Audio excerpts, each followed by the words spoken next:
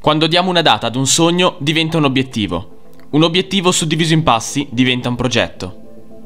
pensando di fare, per poi andarlo a riaprire verso fine, verso fine anno, a fine dicembre, eh, per vedere che cosa sono riuscito a combinare durante questi giorni.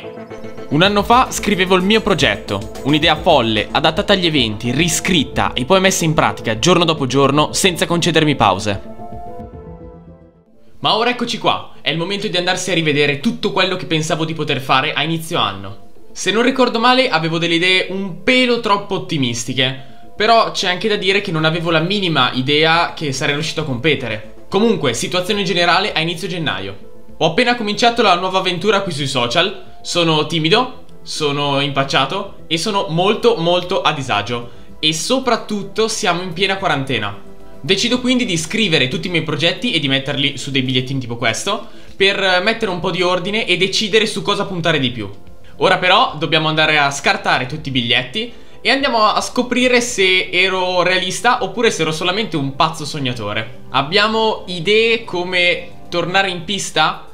Tornare in pista, beh, cosa mi dite di questa? Dite che l'obiettivo è stato raggiunto? Ho fatto 9 gare in tutto, um, ehm, 6 di campionato, una endurance e 2 garette così, per ridere. Quindi, beh, direi che questo obiettivo è stato abbastanza raggiunto. Ah, eh, dimenticavo anche un turno sulla Legend e un turno sul kart 125 due tempi. Entrambi sono stati goduria pura. E adesso vi posso già dire che quando il tempo sarà un po' più mite, un po' più caldo, tornerò in pista, sempre su una Legend, sempre a Castelletto, per scoprire se sono ancora in grado di utilizzare la temutissima frizione. Poi pensate che nei bigliettini avevo scritto cose come una gara di kart.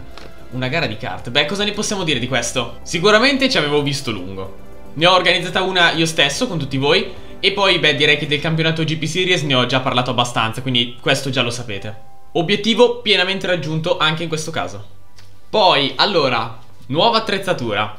Allora, di questo beh possiamo dire tante cose perché sono diventato ambassador di Zamp e direi che questo è stato un grandissimo traguardo che mi ha portato ad avere il nuovo casco che vabbè conoscete già benissimo. Poi beh la tuta, i guanti, le scarpe, il microfono da studio, il microfono per la videocamera, la luce da TikToker e per ultima, freschissima di Natale, la Insta360 Go 2. Questo secondo me è un mega acquisto che rivoluzionerà tutte le mie riprese perché la qualità di quella videocamera è qualcosa di eccezionale. Se volete io vi lascio qui sotto in descrizione il link per darci un'occhiata se vi interessa. Next one, allora, GP di Formula 1 diverso da Monza. Mettiamola così, vista la situazione Covid, eh, è già stato un miracolo se sono riuscito ad andare a Monza.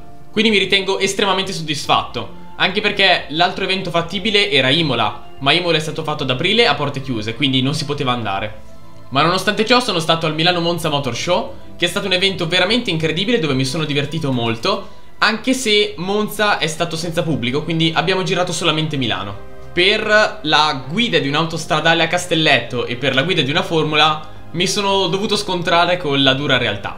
Per questo tipo di contenuti infatti è necessaria la patente e perché per darti in mano una macchina del livello di una formula o di una stradale di alto livello, eh, diciamo che preferiscono che tu abbia la patente e giustamente aggiungerei. Ma visto che io quest'anno la patente la farò, questi contenuti saranno sicuramente parte del mio 2022 e finalmente arriveranno dei contenuti veramente gustosi sul canale.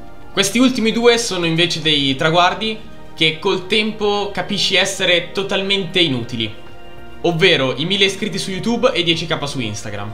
Sono importanti per darti la spinta, è vero, ma a livello di soddisfazione non hanno niente a che vedere con le esperienze. Sono il primo a dire che non sono solamente un numero, i follower sono una community che ti supporta, sono persone prima di tutto che apprezzano i miei contenuti e per questo sono importantissimi, ma arrivano di conseguenza al duro lavoro.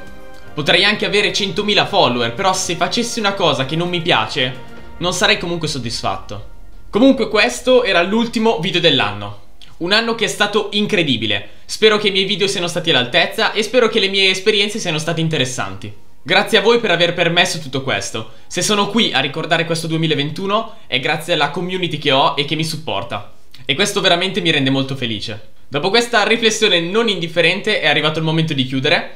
Eh, se volete vedere ancora i bigliettini di inizio anno per i progetti per il 2022, fatemelo sapere nei commenti così inizio a prepararli. Vi ringrazio per aver visto questo video, noi ci vediamo a gennaio, più carichi che mai. Scaldate i motori e buona visione.